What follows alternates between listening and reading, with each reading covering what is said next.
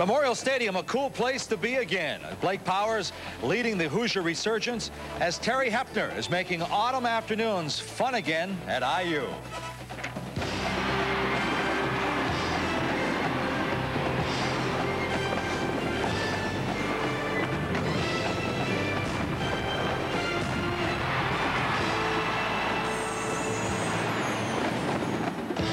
Welcome to ESPN Plus College Game Day, presented by Phillips 66.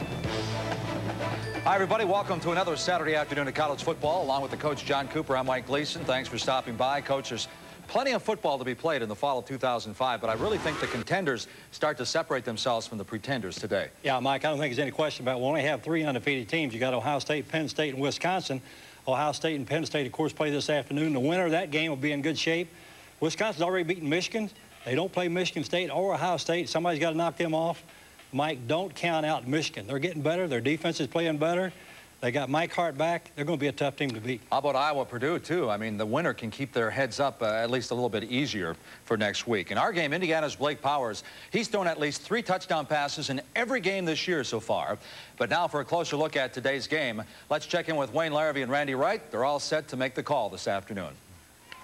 Well, thanks very much, Mike Gleason. There are the two newest coaches in the Big Ten, Ron Zook of Illinois, Terry Hoeppner of Indiana. They are both seeking their first Big Ten wins. Hi, everybody. Wayne Larrivee, Randy Wright. When you put in a new program, it's nice if you can start with a good young quarterback. And these quarterbacks are very similar. They're both first-year starters. They're both trying to learn the spread offense. And in that offense, your quarterback has got to make plays.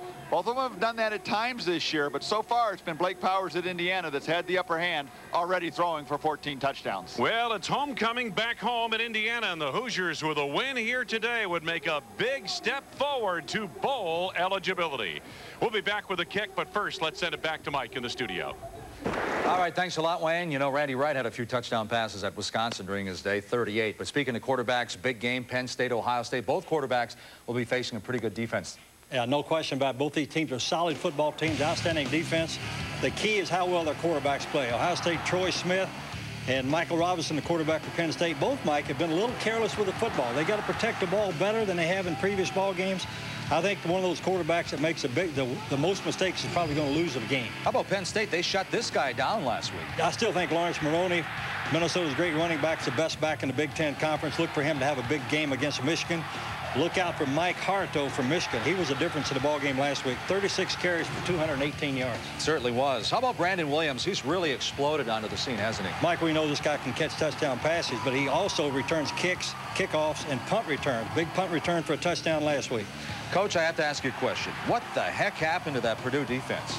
You know, to me, that's probably the most disappointing thing that's happened so far in the conference this year. Everybody expected Purdue's defense to be real good. They had all 11 starters coming back. They they haven't gotten the job done. They gave up 28 points in the first half last week against against a good Notre Dame team. Yeah, 49 for the game. Let's take a look now at our U.S. Bank five-star player of the week, Abdul Hodge.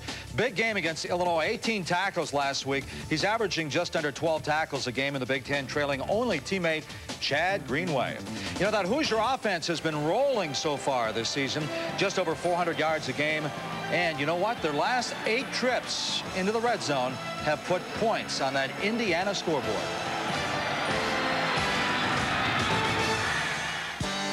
If you're looking for answers from an auto parts store, get ready. Advance Auto Parts is working harder to help you save money by doing it yourself.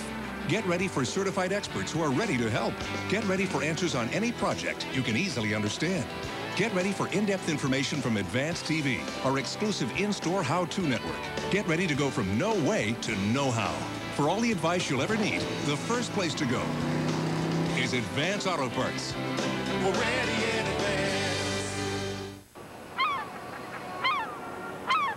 So what's this about the bottle? Well, you know how we look so fit in our swim trunks. Yes. I've discovered that our Guinness draft has only 125 calories. Only 125 calories? Brilliant! What else are you working on? You know how your skin burns if you're on the beach too long? Yes, it stings like the dickens. Well, I've invented a lotion that protects you from the sun's rays. Ah!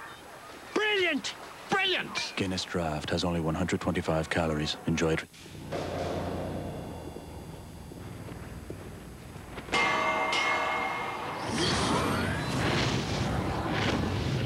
The front and rear pillars of the F-150 are insulated with heat-activated foam to reduce noise, making it as quiet as a luxury vehicle. A luxury vehicle that can tow 9,900 pounds.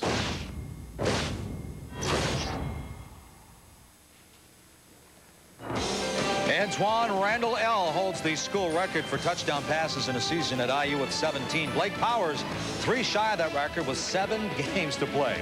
Let's take a look at our taste of tailgating, uh, brought to you by Johnsonville Brats.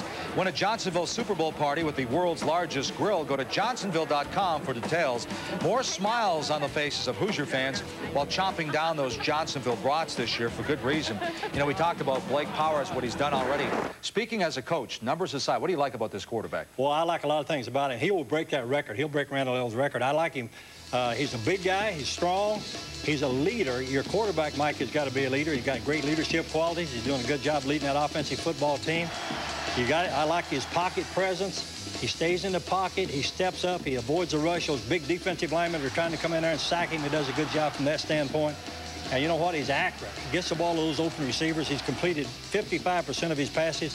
As you mentioned, 14 touchdown passes, and Mikey's only thrown five interceptions. Yeah, and they can score quickly, too. 11 of those 17 scoring drives have taken less than two and a half minutes. Now, Coach and I are back with scores and highlights at halftime, but right now it's time for Terry Hoeppner and Ron Zook to face off for the first time since joining the Big Ten as head coaches. First half coming up. Enjoy. We'll see you back here at halftime. You know, if you're having a bunch of guys over to watch synchronized swimming, forget it. Just serve them weenies. But if you're watching football, you better be grilling Johnsonville brats. Look at them. They're big, fresh, always juicy, and perfect with that other home team favorite. When you give the fans what they want, well, welcome to football party heaven. Welcome to Johnsonville. Who's the most convenient bank in America? U.S. Bank.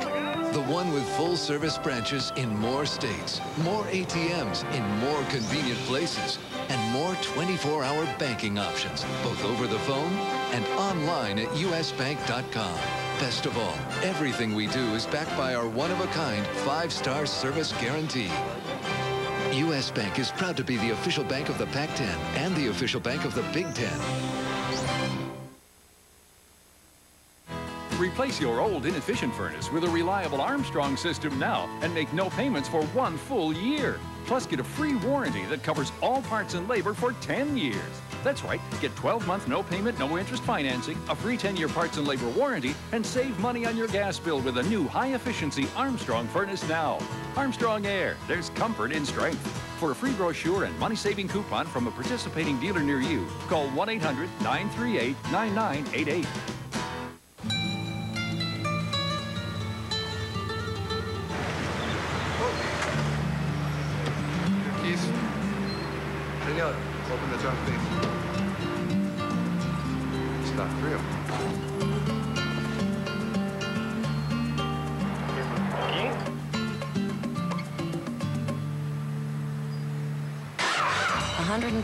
Not-so-standard features. One all-new German-engineered Passat. Today's ESPN Plus game is brought to you by Advance Auto Parts. For the best parts, people, and prices, we're ready in advance. Liberty Mutual, where Big Ten alumni save big on auto and home insurance. The redesigned, rededicated Red Roof Inn and Accor Hotel. Suzuki, introducing the all-new Grand Vitara, the authentic SUV. Johnsonville Brats, welcome to Heaven on a Bun. Welcome to Johnsonville. Guinness Draft Stout. Drink responsibly. Brilliant. And by Polaris Ranger. Hardest working, smoothest riding utility vehicle you can buy. 95th homecoming activities last night on campus. And yes, the head coach, the Grand Marshal. Beautiful night last night for the activities and the students and alumni enjoying it very much. Back home at Indiana, the Fighting Illini of Illinois, the Indiana Hoosiers at Memorial Stadium. And along with Randy Wright and Quint Kessenich, I'm Wayne Larrivee, and it's great to have you with us. It is crisp and cool. It's everything you'd want on a fall afternoon for Big Ten football. And Illinois will receive So they'll be on offense first, going up against a much improved Indiana defense. And Quint Kessenich, they've got some big-time people up front of that line. And that big-time defensive end is Victor Adeyanju. The NFL scouts were here on Tuesday. They were drooling over him. He's got the burst of speed to pressure the quarterback and the size and the strength to stop the running game. A native of Nigeria. He was born there, moved to Chicago as a youngster. Credits his father, who's a taxi driver in Chicago, for his work ethic and his tenacity. Four and a half tackles for loss this season, including two sacks. He says his chore today is to stop the running game of Pierre Thomas and E.B. Halsey. Wayne? All right, thank you, Quint. Getting set to uh, kick it away, the Indiana Hoosiers.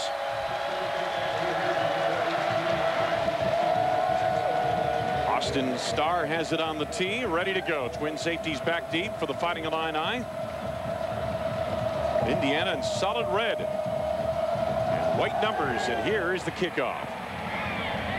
E.B. Halsey, about three yards deep, is told to stay there with it. So the Fighting Illini will accept at their 20-yard line. Earlier today, we talked about the two quarterbacks, two young quarterbacks in their first season as starters. And Tim Brasic is a junior out of Riverside, Illinois. At Iowa last week, he was 32 of 44, 233 yards, one interception, and one touchdown. His receivers let him down a little bit, dropped a couple, short-armed a few, and against that Iowa defense. But he's held up pretty well so far. Second leading rusher on this team as well. The quarterback in the spread offense, Randy, as you've mentioned several times, has to be somewhat of a threat on the ground. Three receivers set. Pierre Thomas in the backfield with Brasic on first and 10. And they're running to Thomas, faking to Thomas, and Brasic on the roll. He's got a first down up to the 35-yard line. Well done. Good play fake. 15-yard gain. The skill position people for Illinois. Pierre Thomas going to get the ball a lot today. Kendrick Jones, DaJuan Warren, Jody Ellis, good wide receivers. Melvin Bryant, a big tight end. On the offensive line, Andrew Burke starts for J.J. Simmons. We'll see J.J. He's been down with a sore knee. O'Donnell, Maddox, Ryan, and McDonald, a young offensive front line for Illinois.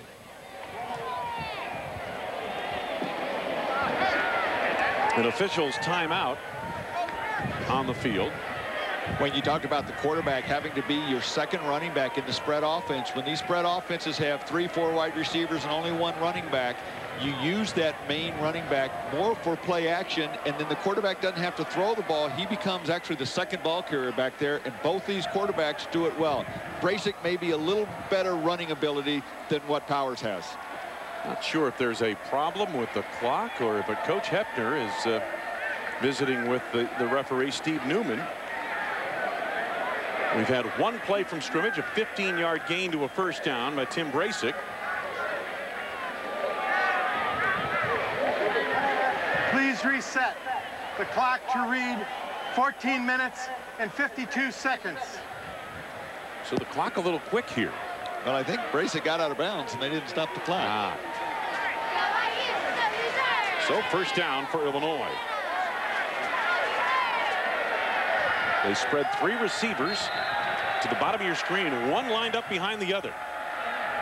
We haven't seen this look yet from Illinois this year in our games. They split them out. Jody Ellis gets the call. A little bit of a bubble screen effect there, and Ellis out to the 41-yard line, gain of six. The Indiana Hoosier defense, and like we mentioned, it has been an improving unit as the season's gone along and played fairly well last week at uh, Wisconsin, especially against the run.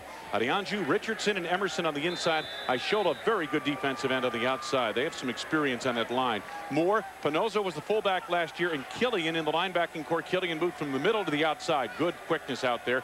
Majors and Porter were burned last week. Myers and Grossfield will help them out a little more this week on the outside. To the fringe on the running game. Mendenhall, Rashard Mendenhall, the freshman out of bounds, picking up a first down to the 48-yard line of Illinois. Will Myers forced him out.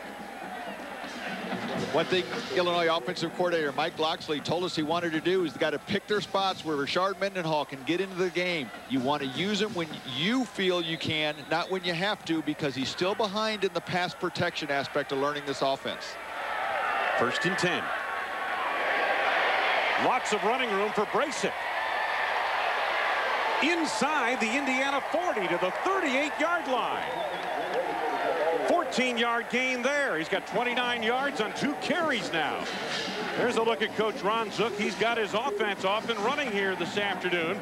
22nd head coach in Illinois football history. One thing Tim Brasic has really got a feel for is how to run this offense, when to run, when to run to scramble to buy time, and when to run to pick up yards. And so far, he's got a good feel for it today. They go to the fullback, Jason Davis, and he has met at the point of attack. Victor Adeyanju led the way, and John Panozzo, the middle linebacker, filled as well.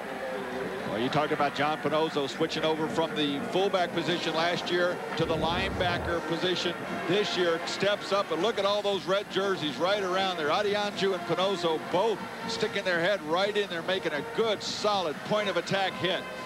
Panozzo, Lots of red jerseys over there. Panozzo got there first. Second and 10. Halsey into the backfield. Now here comes Davis again. Trying to cross him up a little bit. Gain of a couple of yards. Third down coming up. But first, let's go to the studio and Mike. Wayne Barry Alvarez only 3 and 4 all time against Northwestern, but the Badgers strike first. Stocco looking right, comes back, and Jonathan Orr with the touchdown grab. It's 7-0 Badgers on top of the Wildcats in Evanston. Wayne.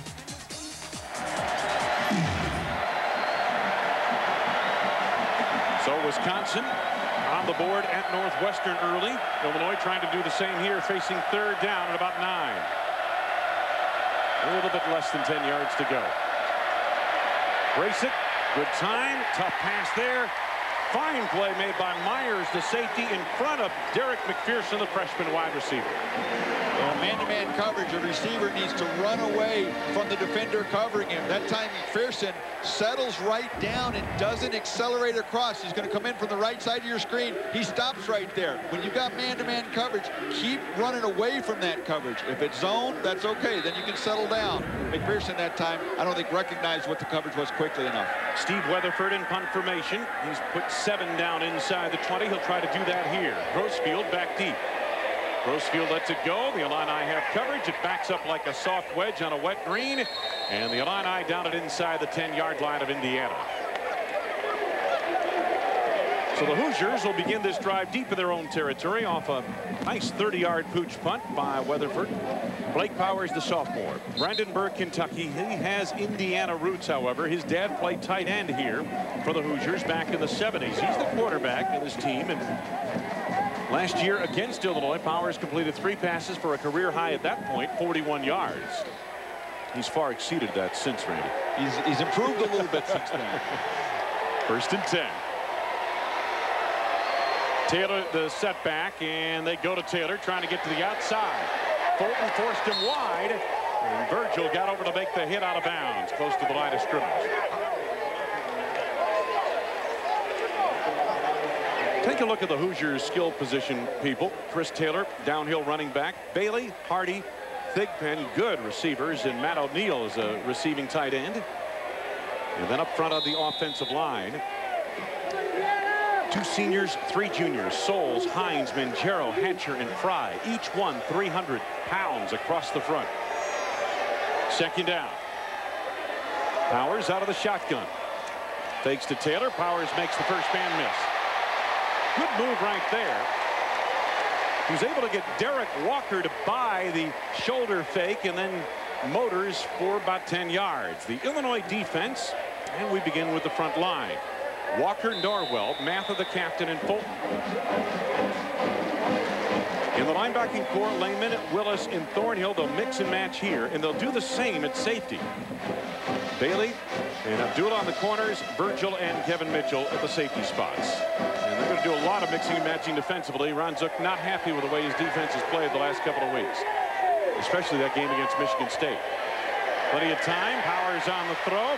That's Hardy the big wide receiver at 6'7 out at the 27-yard line. It's a gain of about eight yards. The head coach in his first year at Indiana, Indiana native Terry Hoeppner from Woodburn, Indiana.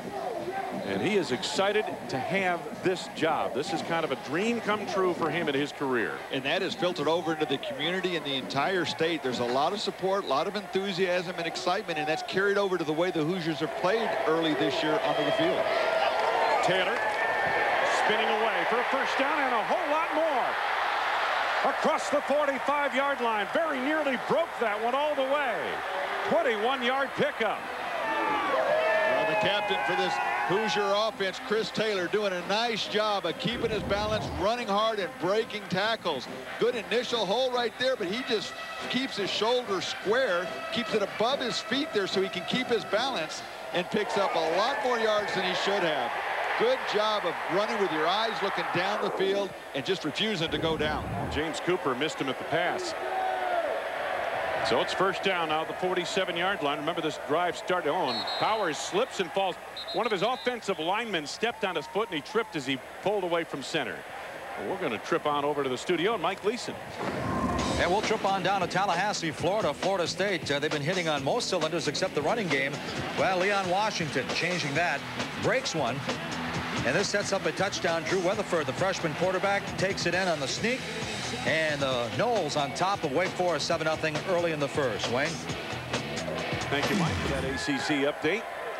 Second down here for Indiana. Second and long.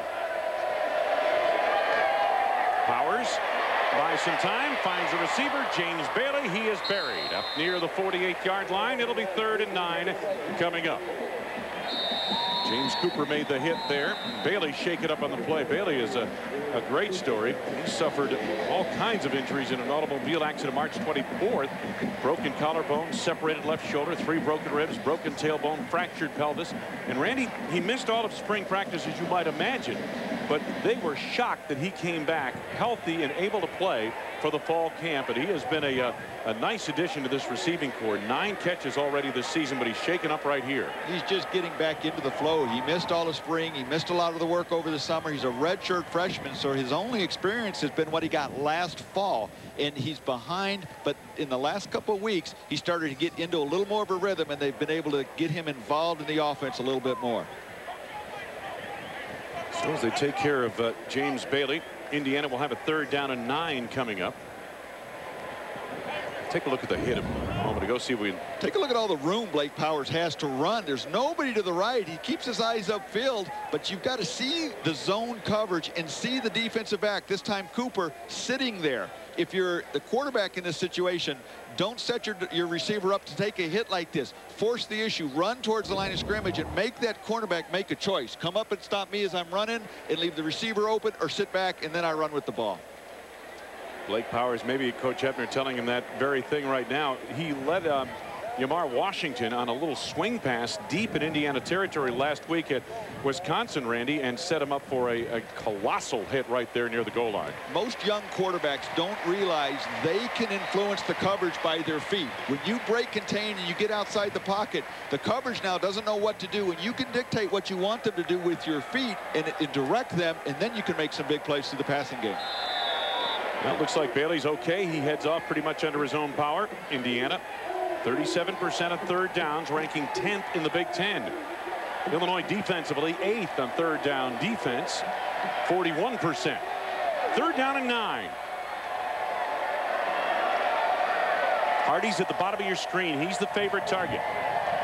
Powers looking the other way. Penalty marker down, going deep down the middle, and the pass overthrown for Thigpen. Incomplete with Mitchell on his trail. Penalty marker down, as I mentioned, near the line of scrimmage. False start against Indiana. Indiana may not have had enough men on the line of scrimmage there. Illegal formation. You're right. Number 76 on the offense. Penalty is declined. Fourth down.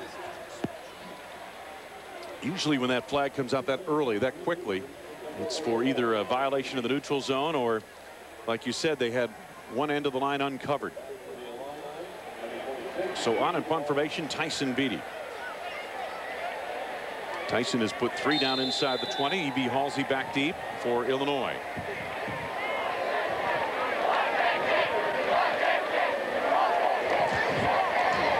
He gets it away just in time. Halsey lets it go. He faked a catch on it and basically decoy the Indiana coverage units to come to him and let the football hit on the four and three yard line thereabouts and carry him into the end zone. 52 yard punt. Illinois will start at the 20 yard line. Good play by Halsey. Well, they walked into the stadium like heroes this morning. We'll see if they walk out the same way. The walk coming up next. I own this marathon station, and I'm proud to be part of this community. That's why at my marathon station, we treat you the way we would want to be treated. It's like neighbor helping neighbor around here, and I love that. We know what our customers want. We see these people every day. It may sound simple, but we work hard to serve you better. That's the American spirit. And I believe you'll find that at Marathon. Marathon, fueling the American spirit.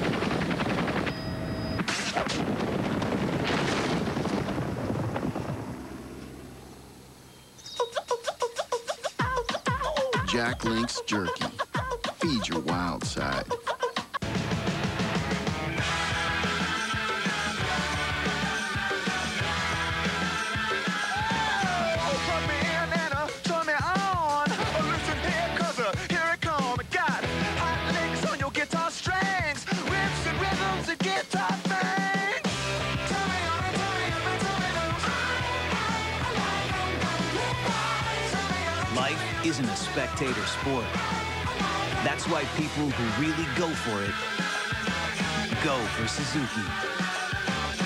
Cars, SUVs, and America's number one warranty.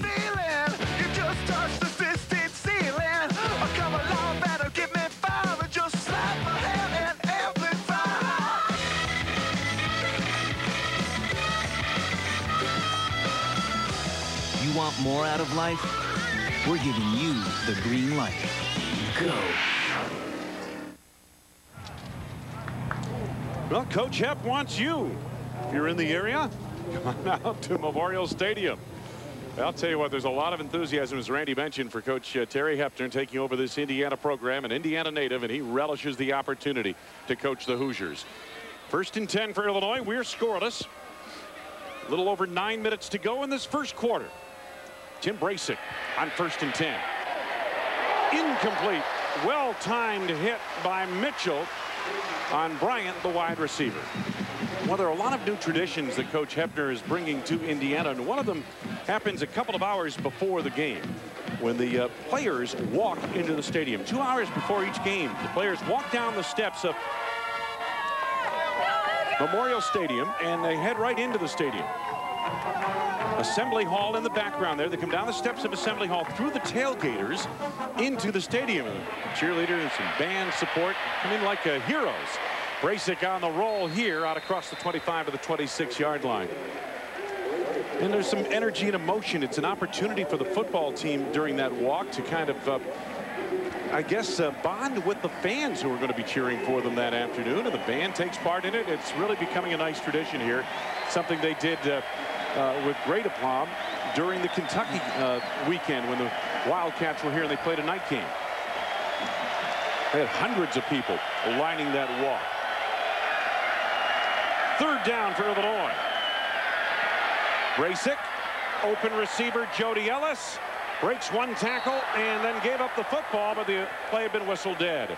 Will Myers makes the tackle out across the 45 or the or 35, I should say, the 38-yard line. 12-yard gain to a first down. Wayne, one of the things that Mike Locksley, the offensive coordinator for Illinois, told us was they need to protect Tim Brasic better. He has not had the time to hit the open receivers. There you saw he had plenty of time to throw the ball. And I think one of the reasons is because Brasic's been running so well out of the backfield that slows down that pass rush. So the more effective Brasic is with his feet, the more time it's going to buy him when he goes back to throw. Brasic looking to throw here, hits the seam. Melvin Bryant, the big tight end, is inside the 35 of Indiana. First and 10, Illinois. We'll head back to the studio for Mike Gleason. Let's go to Blacksburg right now. The Thundering Herd of Marshall trying to stop Virginia Tech. Not too many people can do that, of course. Uh, the only Thunder right now is Cedric Humes. Just gets inside the pylon. Number five for him as far as touchdown. 7-0 Hokies, Wayne. Vodtech has it rolling, no question. First and 10, Illinois off a 28-yard gain, and that pass into the flat, juggled and dropped incomplete. E.B. Halsey on what is a tough catch for a running back. He's running away from the ball, and the pass coming to his back hip. We're at Memorial Stadium in Bloomington, Indiana. It is the 95th homecoming for the Indiana Hoosiers, the Fighting Illini of Illinois, furnishing the opposition, along with Quint Kessenich down on the sidelines. I'm Wayne Larrivee with Randy Wright. And it's nice to have you with us, crisp and cool here in Bloomington. Second and 10. Brasic decided to keep it on the option, and he goes down at the hand of Joe Kramer, the defensive tackle. This game also matches the two newest coaches in the league. Terry Hoeppner, who came over from Miami of Ohio to Indiana, and Ron Zook, who was hired at Illinois from the University of Florida. Two new coaches, but really different programs they took over. Illinois, very young, only three seniors. Indiana, on the other hand, a very veteran team. A lot of juniors and seniors start for this team, and they've got a lot of experience of when they were freshmen and sophomores. So two new coaches, but very different programs they took over. Brasic on third and 11, and it's knocked away from Melvin Bryant, incomplete. I believe the timing of the hit broke that up. Kyle Killian was there. Tracy Porter in the neighborhood as well. And Brasic heads back to the far sidelines. His team coming up short on third and 11. Indiana doing a nice job of bringing some pressure. Look from the bottom of your screen here. There comes Porter coming in off his corner position. Brasic stood in the pocket and couldn't quite get enough on that ball as you saw it flutter through the air there. Still hits Bryant in the hands. Those are the kind of plays you got to make. Melvin Bryant's got to come down with that ball. Expect to get hit. Weatherford in punt formation once again. It's a high snap, juggled it. No pressure, though. Gets off kind of a line drive kick. Here comes Grossfield. Oh, what a tackle made. My goodness. Britt Miller, the linebacker, took his legs out from under him. Otherwise, Grossfield would still be rolling. No score. A little over seven minutes ago, first quarter in Bloomington.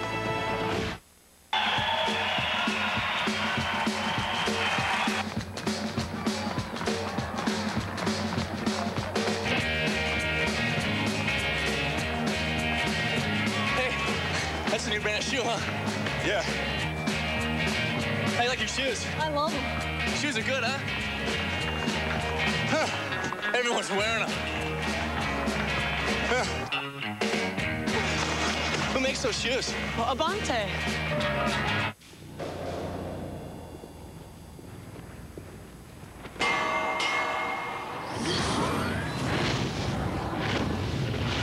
Front and rear pillars of the F-150 are insulated with heat-activated foam to reduce noise, making it as quiet as a luxury vehicle.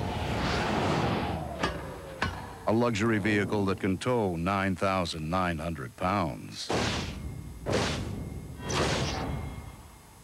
At Buffalo Wild Wings Grill and Bar, everyone loves our boneless buffalo wings.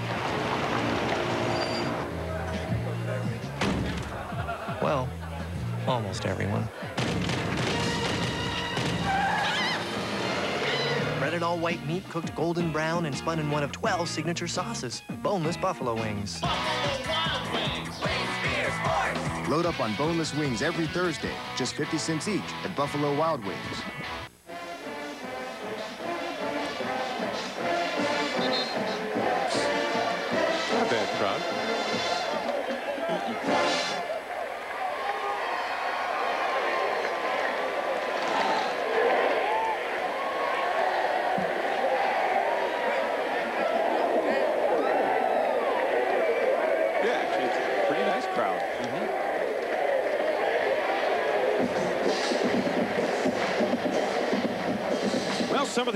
Crush made it over from uh, Champaign.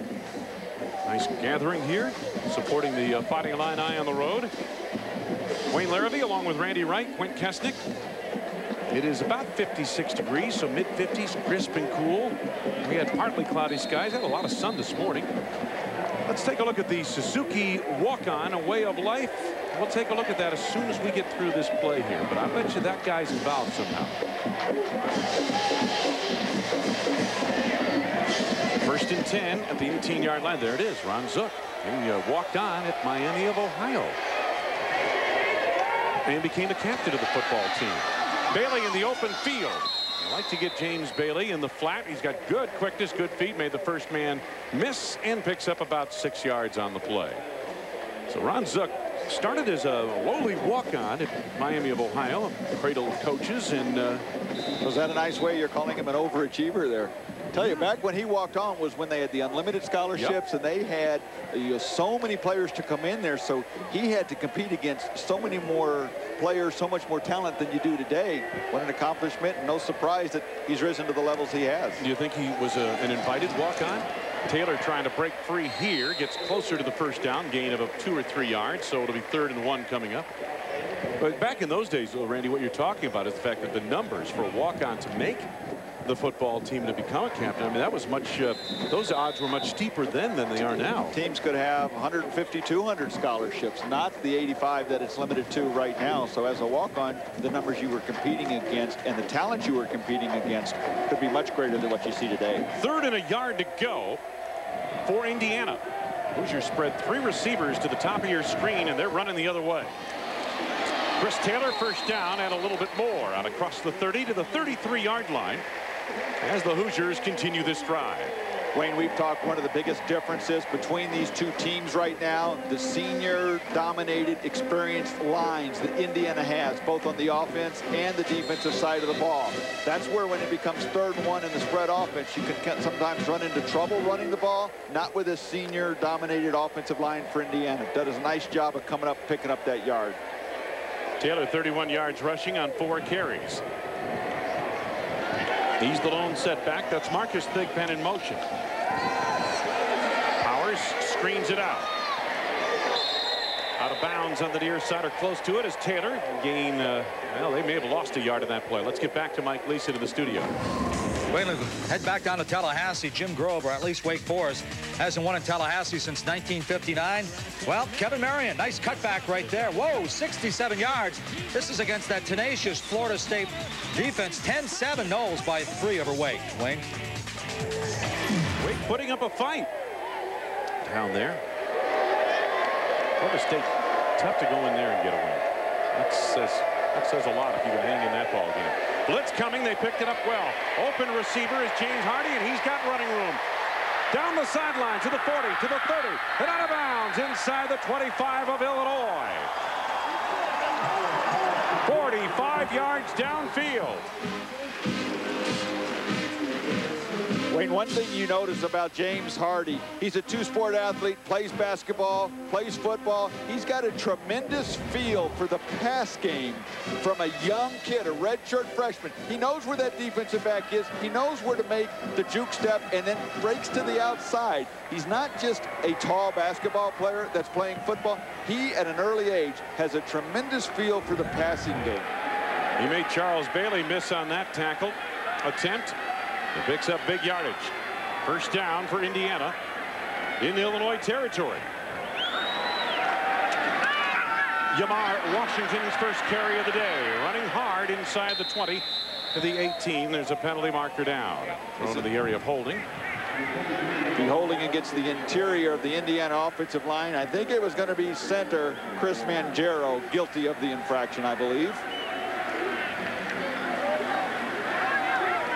Steve Newman is the referee, the technical advisor, Big Ten technical advisor upstairs, looking at all the replays. If there needs to be a call in question, is Burl Sell. Long discussion on the field. I wonder if they're going to pick it up. There is no foul on the play. Quint Kessenich, uh, this is a quick, quick strike offense. Don't blink down there. You might miss something. That has been the signature for Indiana this season. 11 of their 17 scoring drives have taken less than 2 minutes and 15 seconds. They now have 19 plays over 20 yards, including 6 for TDs. Blake Powers, 14 TD passes. He's tied for third in the nation. And James Hardy, with his five touchdown passes, he's averaging over 17 yards a reception. Big plays here in Bloomington. Second down and five. Inside the 20 for the first time today. Washington darting to the outside is denied the first down, just short of the 15-yard line. Time now for the Red Roof Inn Red Zone Proficiency. Save at Red Roof Inns with Red's Hot Deals. Randy, how do you like these numbers? Uh, you don't like the fact that they've only got down there 18 times and only 10 of the 20 have been touchdowns. So if they're not scoring from further away with some of those big plays Quint was just talking about, they have more trouble than most teams getting it into the end zone. So Illinois has them right where they want them? Is that what you're saying? Considering they would rather have them there than maybe some other teams. Okay. That may be what that means. Two tight ends on the line. Washington the long set back, and they're running it right at the Illinois defense. Washington trying to pick up the first down, and a good hard finish to that run gets him the first down to the 17-yard line. Mid portion of the Illini defense responding on the play. Arthur Boyd led the way.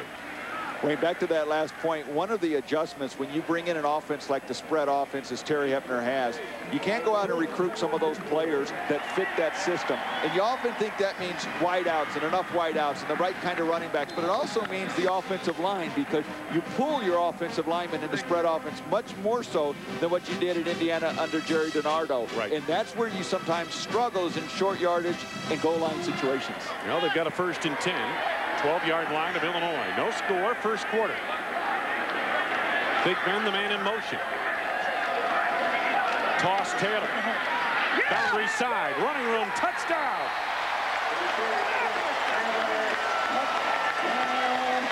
Chris Taylor, and it was almost too easy. It, it sure made it look like it was easy, didn't he? Nicely blocked. Taylor did a nice job of following those blockers, having the patience to let those blocks take place, and then the acceleration when he saw the hole open up. That was a very well designed and executed play by all parties. So Chris Taylor, the leading rusher for the Indiana Hoosiers, Hoosiers scores on a 12-yard run. Joe Kleinsmith for the point after. True freshman out of Lakewood, Ohio. And he's got the extra point successfully through the uprights. Nine plays, 82 yards, took just three minutes, 11 seconds. The Hoosiers go on the ground to score the first points of the game. Chris Taylor from 12 yards out. Have a good day. See you tonight. Okay.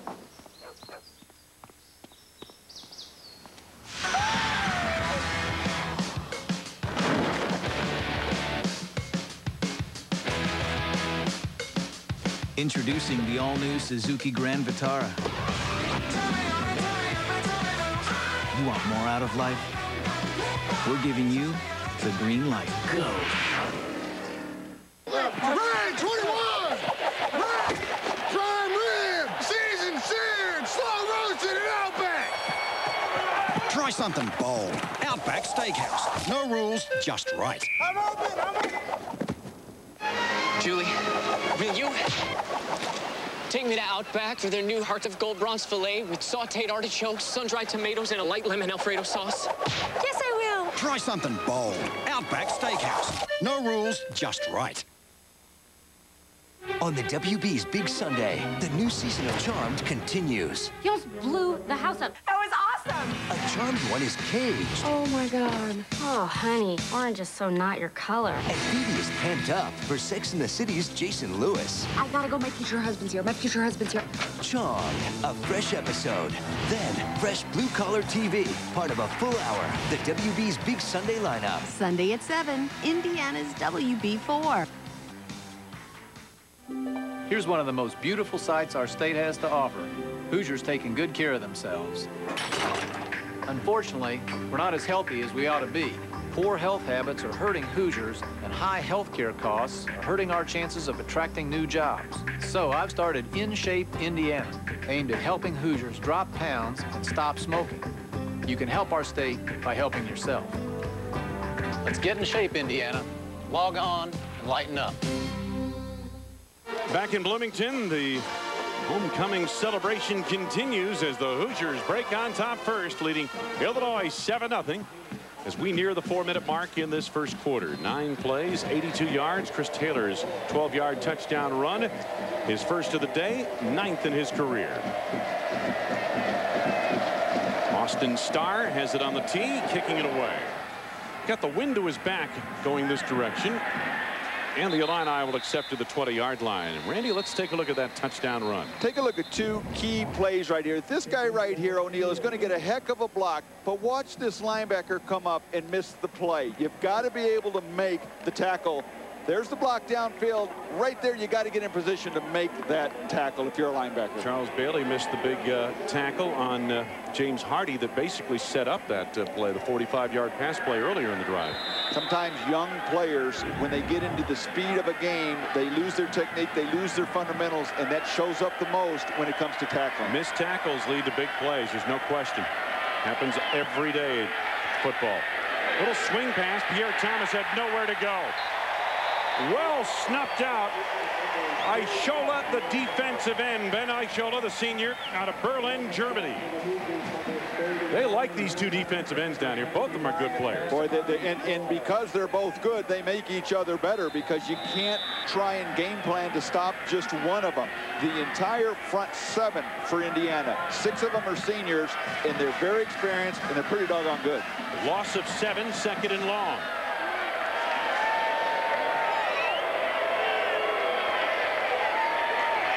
Brasic has time over the middle on the crossing pattern. Out to the 25-yard line, Jody Ellis. Good, quick receiver and defensive back. Hinsdale, Illinois, is a defensive back, but he's just too good a pass catcher to stay, leave him in the secondary. 12-yard gain there. Well, he brings some speed to the wide receiver position. Tim Brasic has really done a nice job this season accepting this offense, adapting to it. Now, he ran the spread in high school, and he's had three years without playing until this year. So as the season goes on, he's going to get better and better as that rust continues to wear off. Third down, quick toss to the flank. Do they have it blocked well enough? No, they don't. The freshman Derek McPherson and the Hoosiers were all over that play, led by the middle linebacker John Panozzo, number 34. What you need to have this kind of screen work is space and room. Look how jumbled it is over there. There's not enough room for the Illinois players to make their blocks and for the receiver McPherson to set those up and then create that space to get through. It was too jumbled over there. It is fourth down and punt formation time. Weatherford, who's pooched a couple today, wants some distance here. Into the wind, a high floater. Fair catch signal made by Grossfield, and he's got it near the Hoosier 40-yard line.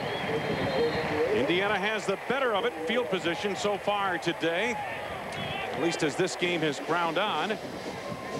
They've got their best field position to start a drive here. Coming up next Saturday, noon Eastern, Indiana travels to Iowa to take on the Hawkeyes. Check your local listings for the game and the time in your area. Indiana and Iowa. Those Hawkeyes are kind of a do or die today with Purdue.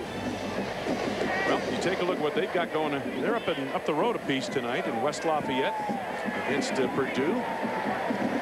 Maybe elimination game there, huh? Uh, I think there are a couple of elimination games in the Big Ten this week. First and 10 from the 40, Taylor, and they reverse to Thigpen. He has speed. My goodness.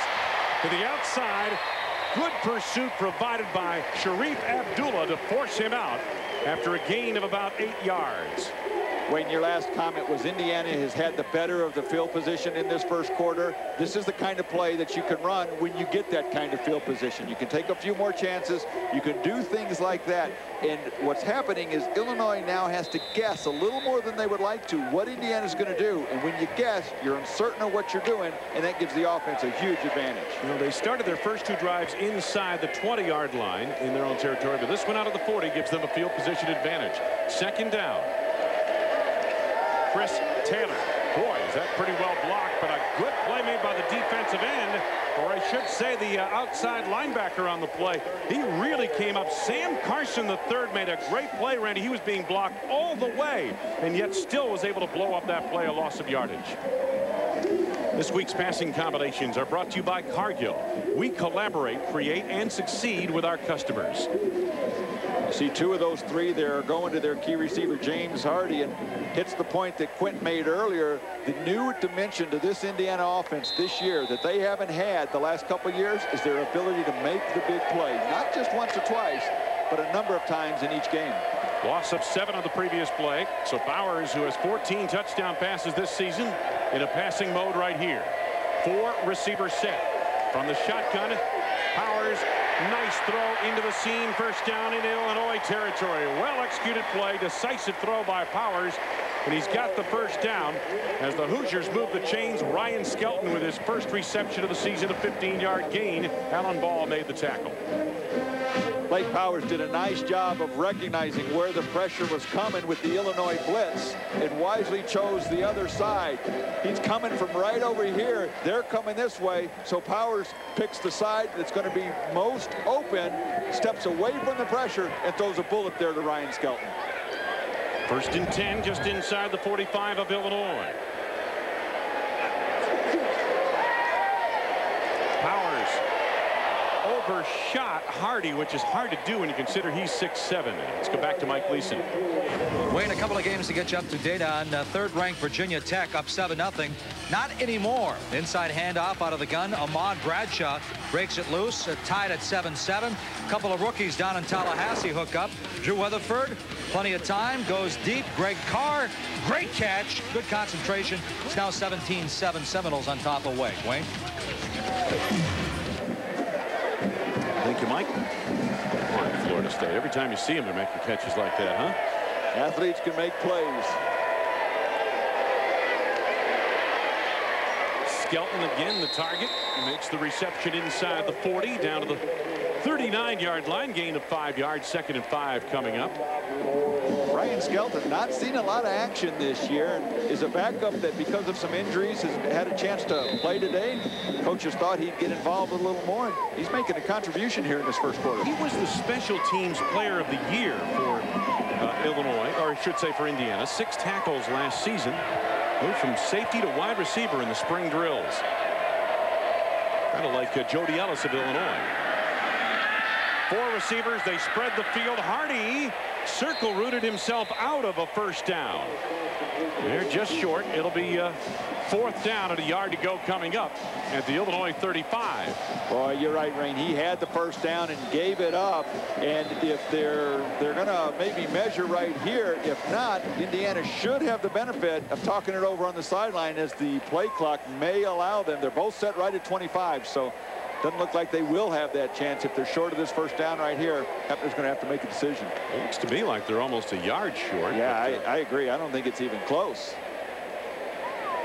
Indiana not adverse to going for it on uh, fourth down. They've tried it seven times this year, been successful six times on fourth down calls. It's probably a foot or two. What do you think? Two feet? Yeah, I think that's at least two feet. It's a gimme putt on a Saturday afternoon, but not here. You just don't like cutting those two foot. No, I certainly don't. You give them to yourself. But Terry Hoeppner knows he wants to go for it. The question is what play. You go into a game with a list of plays. The first, first, the first fourth down situation, this is the play I want to run. The second one, this is the play. So this should be something this team has practiced this week. All right, here we go. Fourth down, they've got that big offensive line. Chris Banjero, the center. 300 pounders across the front.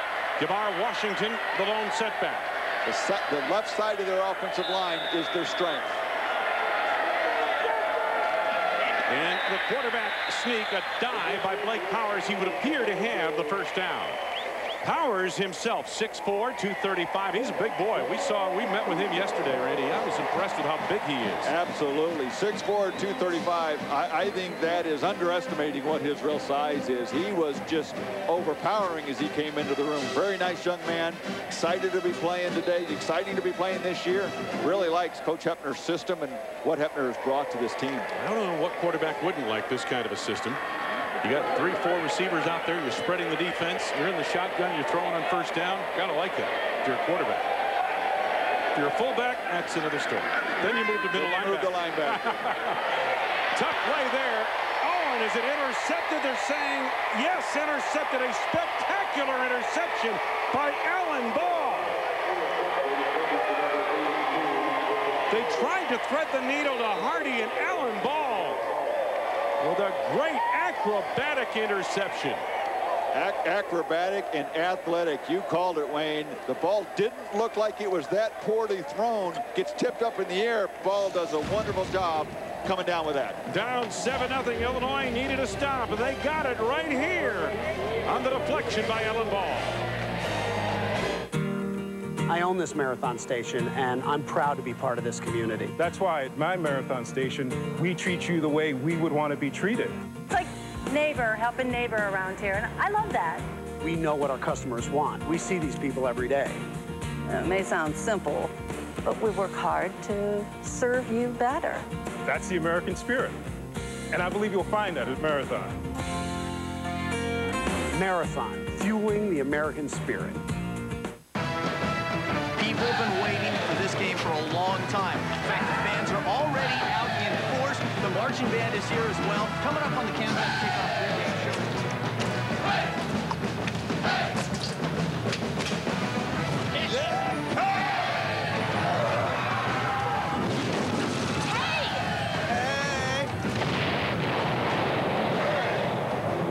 Ah, football.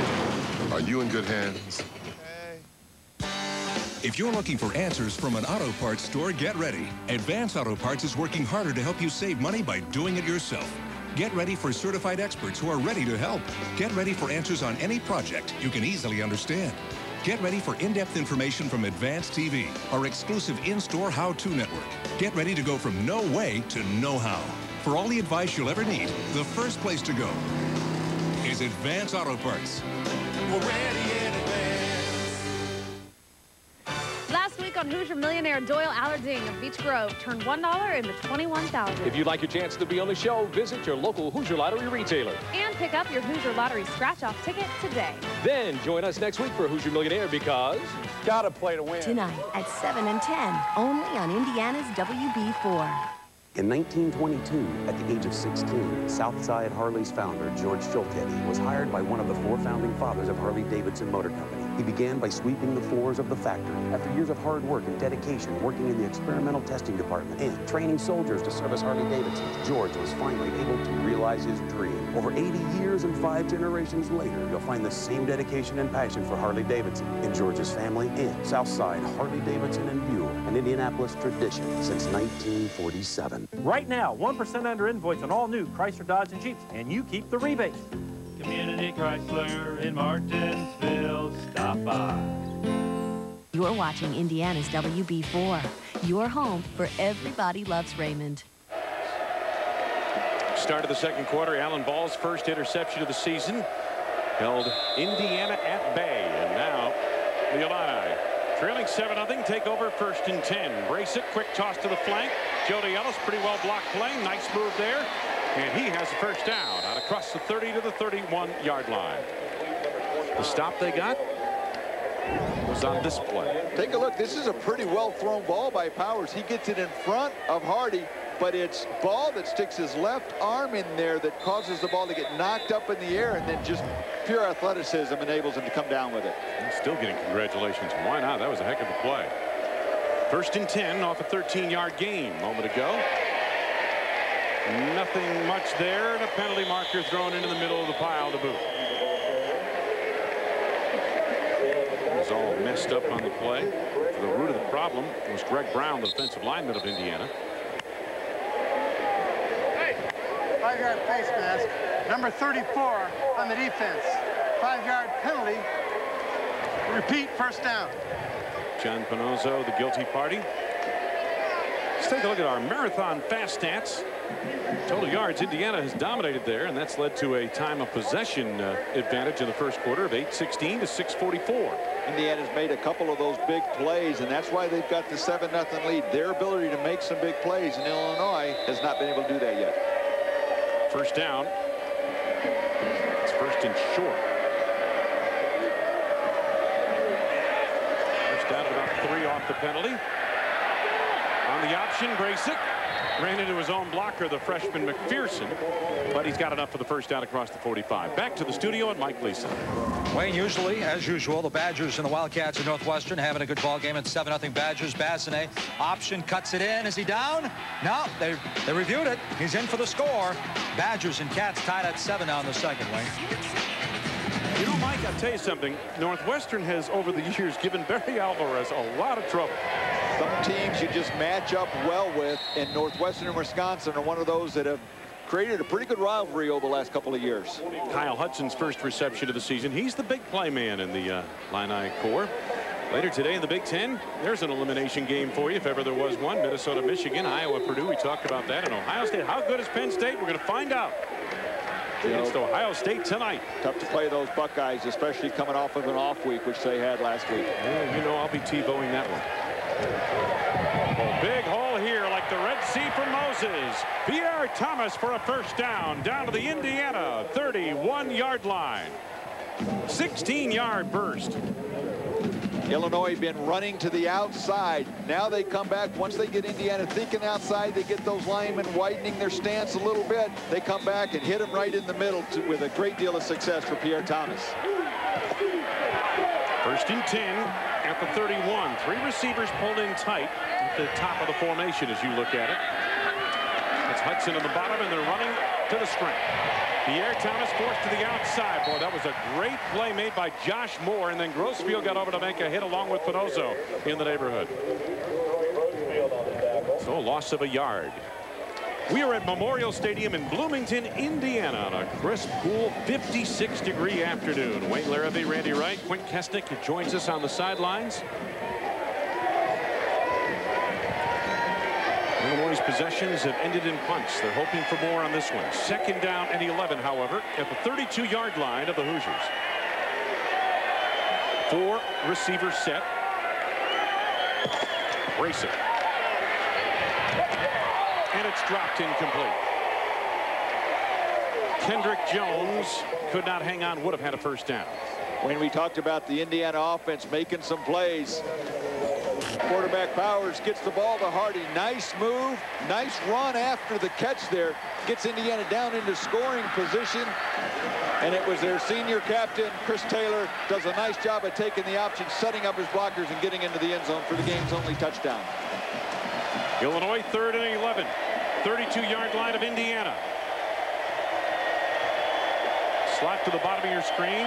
Hudson is wide to the top. Brasic usually looks that way. Wants Hudson. Got him. First down. 17-yard line. That kid just makes plays. We were talking with Mike Locksley, the offensive coordinator on the field before the game this afternoon, and that's exactly what he said. This kid doesn't have all the measurables you want, but what he is is a football player. He knows how to get open. Picking on Tracy Porter, who had a tough game last week against the Badgers. They went over him many times for some big plays. Brasic there living with his receiver, Hudson. Waited till he made the break. Hudson did a nice job of creating separation, picked up that first down. Belly played with the fullback. Not much there for Jason Davis, the senior out of St. Louis, mid-portion of the Indiana defense, equal to the task. Indiana played the run very well last week when you consider that Wisconsin entered last week's game ranked third in the Big Ten in rushing offense, 239 yards a game. All they got against the Hoosier defense was 103 yards rushing, an average of 2.7 yards per play. So they were fairly stout against the run, and they committed to stopping the run with their safeties last week. And that's the strength of this Indiana defense is their front seven. The weakness is in their pass coverage, especially man-to-man. -man. Jody Ellis out of bounds near the 10-yard line. Right back to the studio and Mike Gleason. When we show you Brett Basanez, Booker Stanley says, hey, don't get so excited, guys. Badgers come right back. There goes Booker trying to turn the corner, finds the lane. Whoa, good second effort. He's in. Touchdown lead now for Wisconsin, 14-7. Wayne. Good tough run by Booker Stanley. I don't know if either of their defenses can stop the other team's offense. I think it's going to be a whale of a game up there. Back and forth. They'll be lighting that scoreboard up all day in Evanston. Brasic, under pressure, gets away. Still keeping the play alive. And it's broken up incomplete. At the last second, tried to get it to Hudson, and this time Tracy Porter in the corner of the end zone was equal to the task. Good job by Tim Brasic, buying some time. Things break down to the left. Use your feet to buy some time, but keep your head looking down the field. And a nice job by Tracy Porter, not losing sight of where his man was. Here's the missed tackle, the little stutter step, and what a nice play by Porter. Diving out, stretching out, getting his hand in the way of that pass. Jason Reda, who missed three field goal attempts at Iowa, had two blocked. This time puts it right down the boulevard. Big kick for Jason Reda. Ron Zook told us after he missed three last week, he said, listen, kid, you don't become a bad kicker in one week. And he said Jason Reda kicked the ball better than he ever has this week in practice. And Reda confidently puts the Illini on the board. Coming up now a legendary figure of these parts. A head coach of the Indiana Hoosiers back in the 80s and early 90s, Bill Mallory, when we come back. Tonight at Red Roof Inn, guests get great deals at redroof.com. Oh, that deal's hot. And get a great deal more than they expected. How low can you go? Don't miss red hot deals from Red Roof Inn and Accor Hotel. There are sports drinks that help you to fly, to soar, to defy gravity. But who's there to help when you hit the ground? To promote healthy knees and joints, one company wanted to make a drinkable dietary supplement. They turned to Cargill, where scientists created a good-tasting liquid form of key ingredients, resulting in a solution for healthy joints that's easy to swallow. This is how Cargill works with customers. There's a change taking place, a wave of self-expression, and it's being driven by people with a vision to live life, not by some rule book, but on their own terms.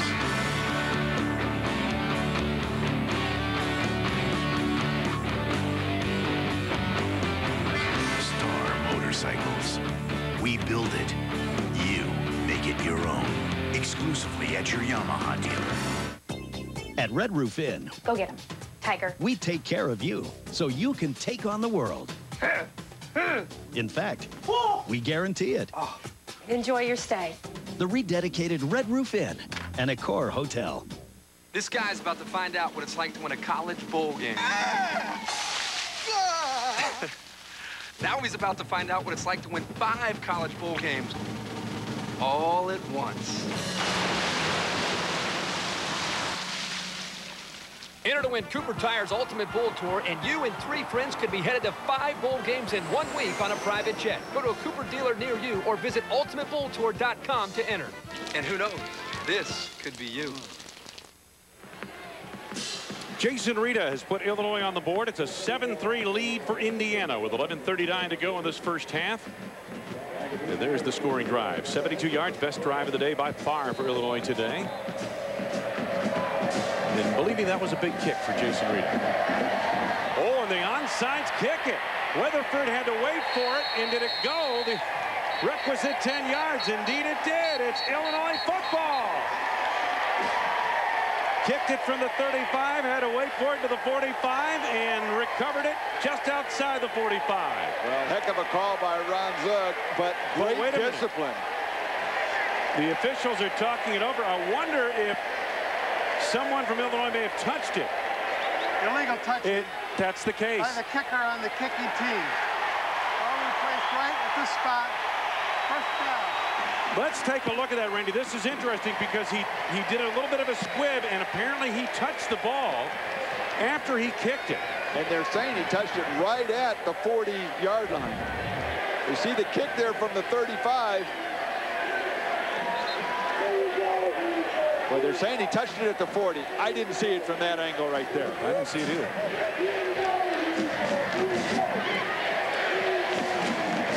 Watching it again. Let's see we can pick it up here.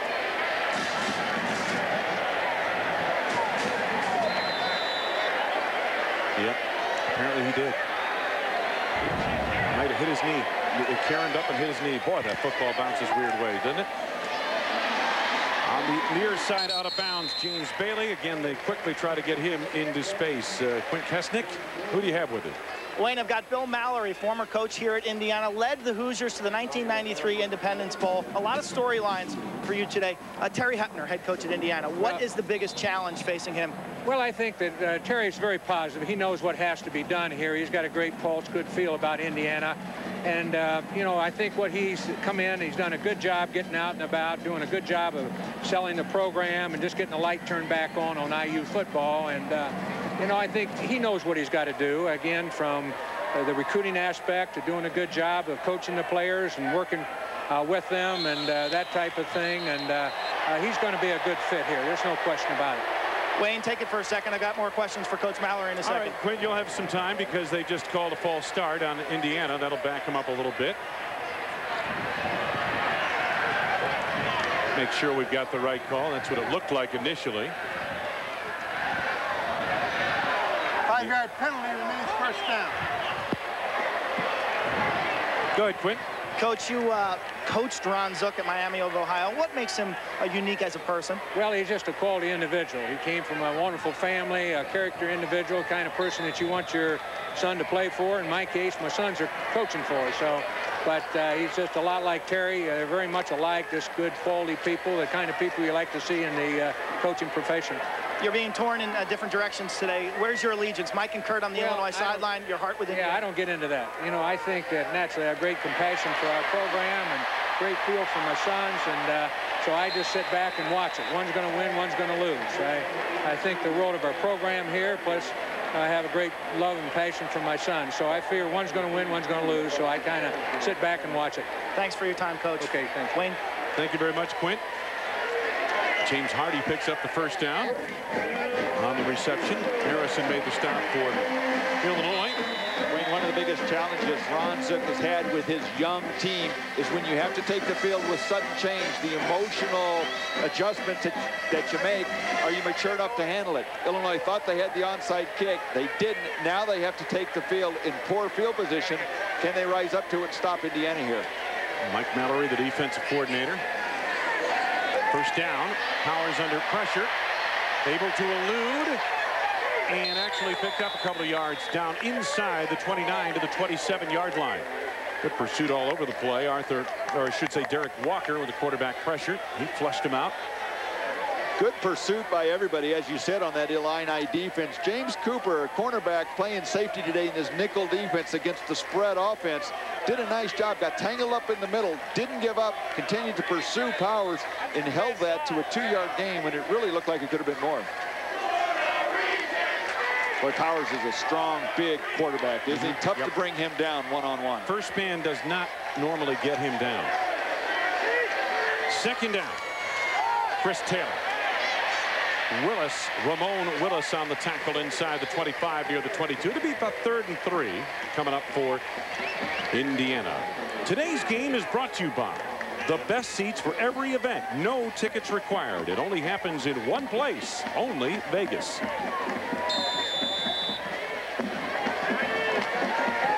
Third down at about three. Derek Walker and company. Ramon Willis trying to dig in for Illinois. Stop these Hoosiers who lead it seven to three.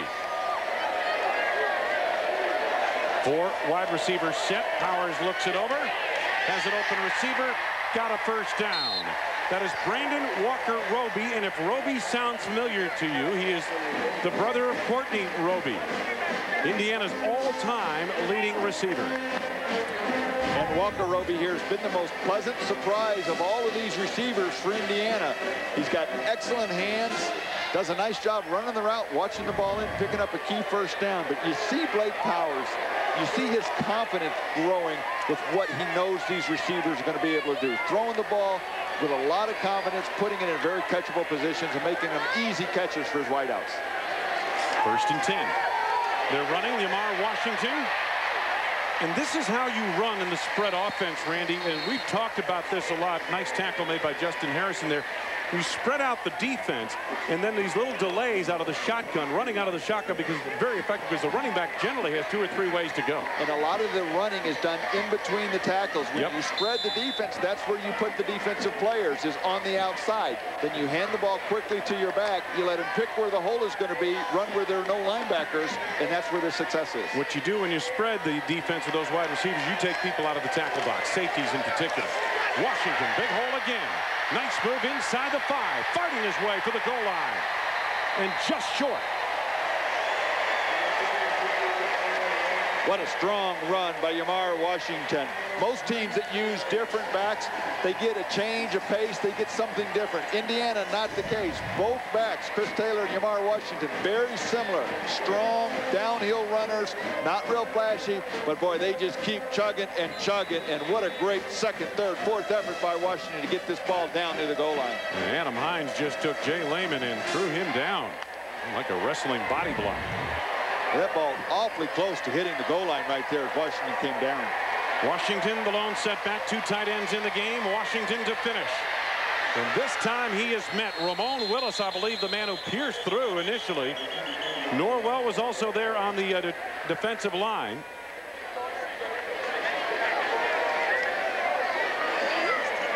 That check time here for this Illini defense. They had the sudden change. Indiana now just really running the ball right down, right at them. No surprise what's coming. Are they strong enough, man enough to stand up, keep them out of the end zone? Second down and goal to go. Again, Washington the lone setback, two tight ends. It sure is nice here having a receiver six foot seven inches tall. Two tight ends, bottom of the formation. Powers on a naked roll. In the end zone, Sexton, touchdown!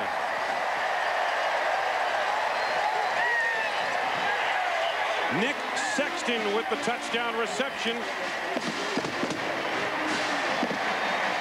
And the Hoosiers extend their advantage to 13 to 3. Nice play action fake by Powers there. Hardy, the tall receiver, over to the left side. Play action that way. You get your tight end who does a nice job blocking down, then gets up and releases, and Powers threw the ball in a nice, easy, catchable spot.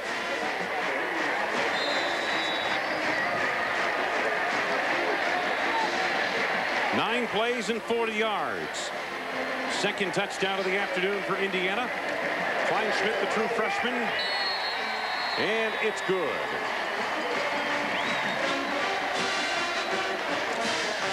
Well, Sexton gets the touchdown. They've got another tradition here at Indiana. They just started the mascot of the day. John Cougar Mellencamp advanced this idea. We'll find out about it when we come back. Hey, Big Ten alumni, you could save up to $327 or more on auto insurance. Hey, Coach! I qualify? I qualify.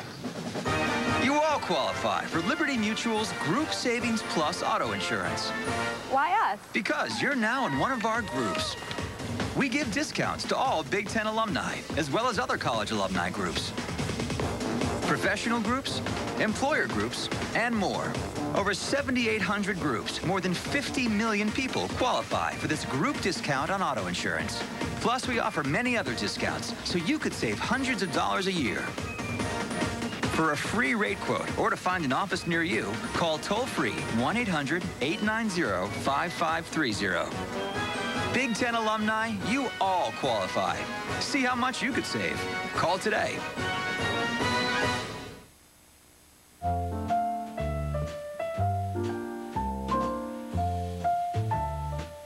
Some like things warm. Others cool. Which is why the Lexus ES is available with heated and ventilated front seats and dual zone climate control. So at least in one place, everyone is guaranteed to feel comfortable. At Tom Wood Lexus, Save big on a wide selection of shingles like new Skyview exclusively at Menards. Its patented color technology gives a dimensional appearance to any home. And the self-aligning tab makes installation fast and easy. Just $11.49 a bundle. Cover patios, greenhouses, and carports with Super 600 reinforced fiberglass corrugated panels starting at $13.49 each. Service, quality, selection. Menards. Save big money at Menards. Indiana extends to its biggest advantage of the afternoon, 11 points, 14 to 3 over Illinois. On the drive, nine plays, 40 yards. Blake Powers, four for four, 26 yards passing on that drive. Austin Starr set to kick it away. High short kick. And a fair catch signal made, and the catch completed by Illinois. We, Coach Terry Hoeppner uh, got an idea of a mascot of the day in a conversation he had with singer and Indiana native John Mellencamp. Indiana fans are invited to email Coach Hoeppner as to why their 12-year-old son or daughter should be Indiana's mascot of the day. Now, the email should answer the question, what is a Hoosier? Coach Hoeppner then has put together a group that uh, will select winning responses and a parent and child will receive two free tickets, parking pass, and accompany the Hoosiers in the walk to Memorial Stadium. It's an exciting day if you're a winner. First and 10 for Illinois. Football the 25-yard line. Illini territory. Nice hole for Pierre Thomas that he's across the 30 to the 32-yard line.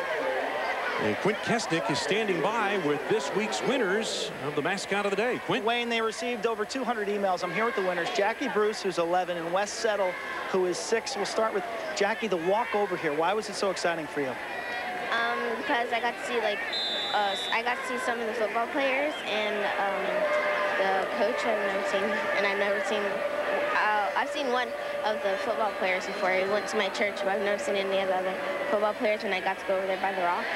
Jackie is an elite gymnast, uh, actually a state champion in the uneven bars. You did a flip for the team. What was their reaction?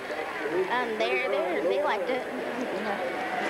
Uh, yeah, they liked it. What did they like about it? I guess I guess they liked it because I'm I'm a young gymnast and most people my age can't do the things I do. So. Wayne, the emails uh, that were sent to Coach Hoeppner dealt with their high hopes for the future. Jackie wants to be a state uh, and Olympic gymnast, and Wes has overcome 13 surgeries. He's an inspiration for, to his family, and today he was an inspiration to the entire Indiana team.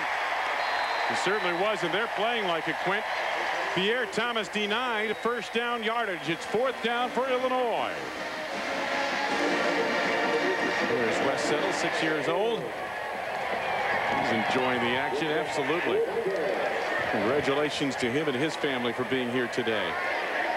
A lot of traditions that Coach Terry Hoeppner has brought to this program. He said, well, what, is, what difference does it make in terms of winning and losing? Well, all of it goes together in building a program. What they're doing, there aren't things that cost a lot of money. They aren't big, expensive things. They're things that get the players involved in the community and with the fans. And they're little things that players will take and remember and take with them as they leave here. Weatherford, beautiful punt, Grossfield.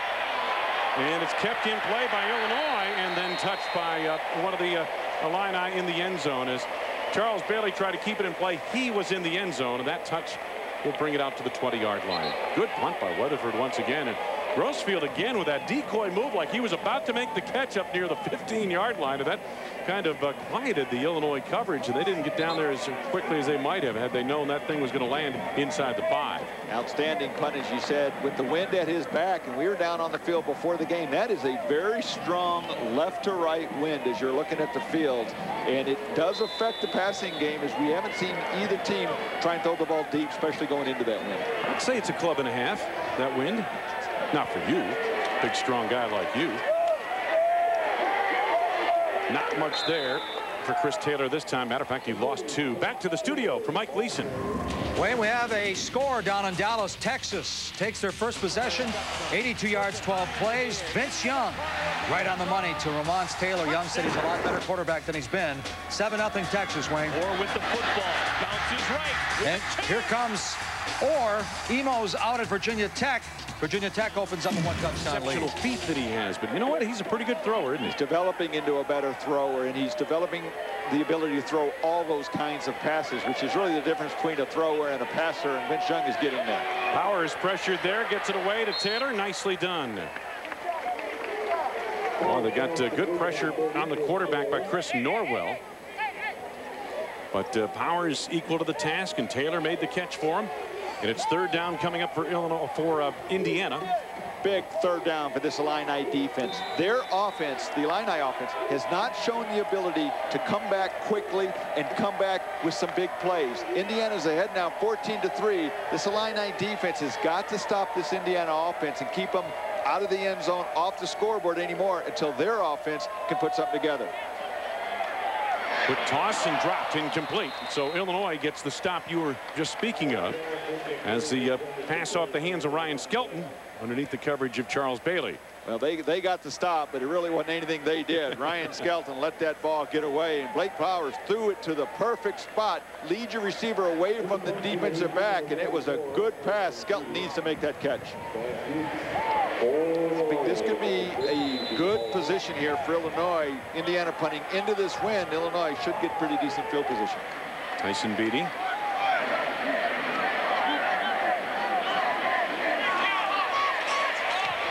that kick away. Kind of a line drive of a kick. Takes an Indiana hop inside the 45-yard line, and the Hoosiers going to down it near the 41 of Illinois. Still first half, 4.20 to go, second quarter. Indiana in control.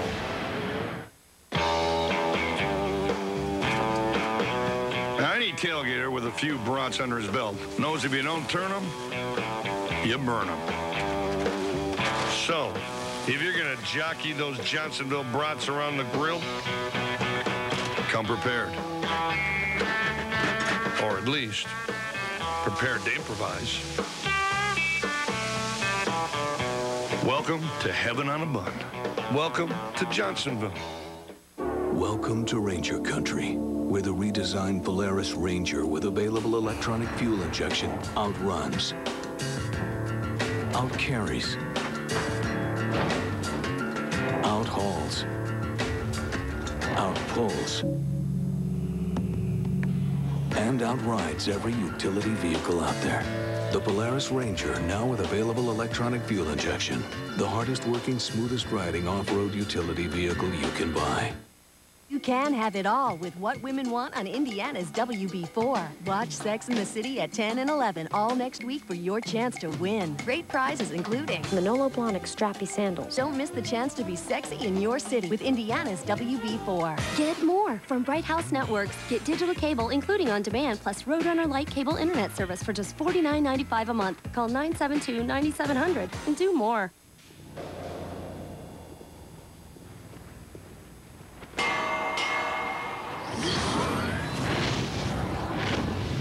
The front and rear pillars of the F-150 are insulated with heat-activated foam to reduce noise, making it as quiet as a luxury vehicle.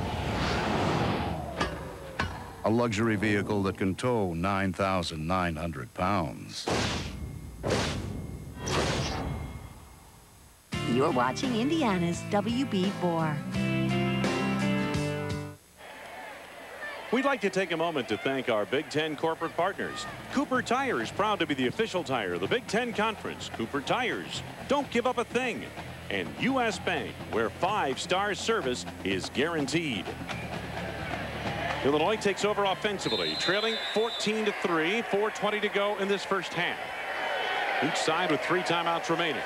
Brasic keeps it. Now the pitch. Oh, and good timing here. E.B. Halsey for a first down into Hoosier territory at the 43-yard line of Indiana. Forced out of bounds by Aaron Mitchell, the safety 15 yards downfield. Boy, what a great play by Tim Brasic. So many times when a quarterback runs the option and decides to keep the ball at the line of scrimmage, they disregard that pitch back. Brasic kept him in mind, and when he got five yards down the field, came upon another defender, that's when he pitched it out. So great play by Tim Brasic. They cluster three receivers tight at the bottom of your screen. And they're running. Halsey this time met short of the pass.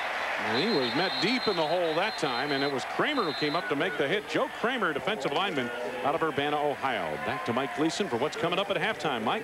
Wayne, coming up at halftime, we'll see how Minnesota is doing in their quest to get their hands on the Little Brown Jug. It's been a while. Of course, Texas, Oklahoma, another Red River rivalry. And two ACC teams in the top five, both with early kicks. We'll have the highlights and score. Thank you, Mike. We'll look forward to it. Loss of three, second down and 13 now for Illinois. Race it to the flank and the pass tipped incomplete. Looked like that ball was tipped either by Kendall or Brown. Greg Brown may have been the guy that got a piece of it and knocked it loose. But Brasic had his man, Pierre Thomas, out on the left flat. He had plenty of time to throw the ball. You got to get that ball over the outreached arms of a defensive lineman as Pierre Thomas was running by himself down the sideline. Third down. Not good today for Illinois. They've got third in several long situations. Third and 13 here. Brasic lots of time. Incomplete through the hands of the intended receiver, Derek McPherson, and he took a hit on that play by Aaron Mitchell. Fourth down. Would not have been a first down, but it would have given Illinois a lot better chance had they chosen to go for it on fourth down. They would have had the ball about the 36, 37 yard line. Would have been an interesting decision. Now, punting with the win, they leave 3.22 on the clock for Indiana to get this ball. Weatherford on a punt formation. Steve Weatherford. Good leverage into this kick. And downfield saving it is Cooper, and it's covered by Weil. Inside the 10, well done. Good teamwork downfield. James Cooper. And then Weil able to keep it in play and down it. Russ Weil, the fullback. You know, you can catch this ball. If the receiving team is making no attempt to catch it, you can catch that ball instead of knocking it back. Now, he may have felt his momentum was going to exactly. carry him into the end zone, and he chose to knock it back, and he did a very nice job of doing that. A thought, though, can always catch it. It's almost harder to knock that back than it is to catch the thing Yeah. if it was coming down. I think you're right. He would have been uh, into the end zone, though. He was, or at least he was worried about that aspect of it. He didn't quite know where the goal line was there, but good play on his part. Excellent hustle, good play. First and 10. Yamar Washington to the outside, and they've been able to find some running room on the flank of the Illinois defense. It has become an overcast day, but it's still crisp and cool. Just a beautiful day for college football. Memorial Stadium in Bloomington, Indiana. Along with Quint Kessenich down to the sidelines, I'm Wayne Larrivee. Randy Wright alongside.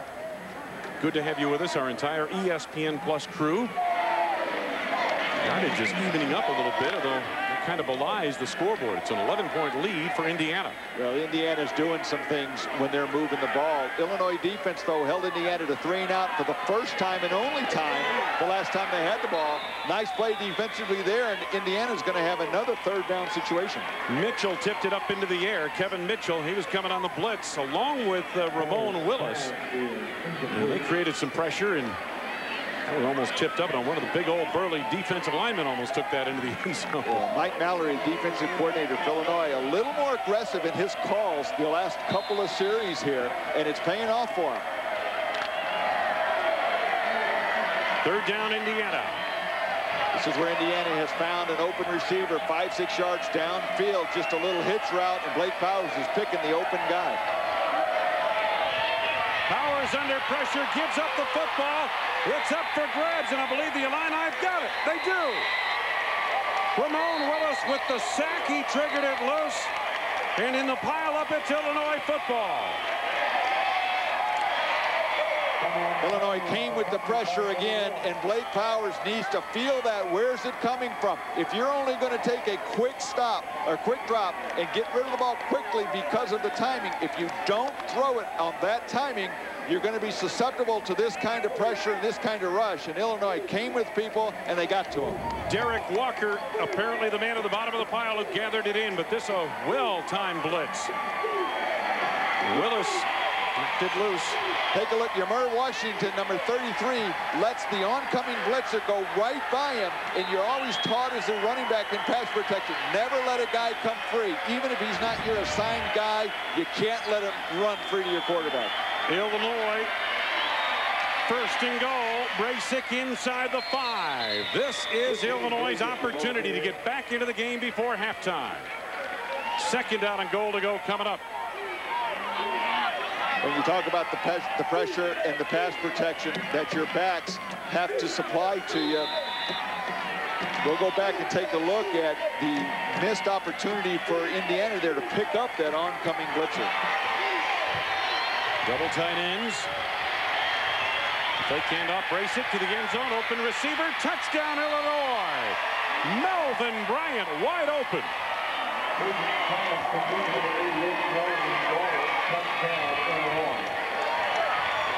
Illinois capitalize on, capitalizing on that turnover.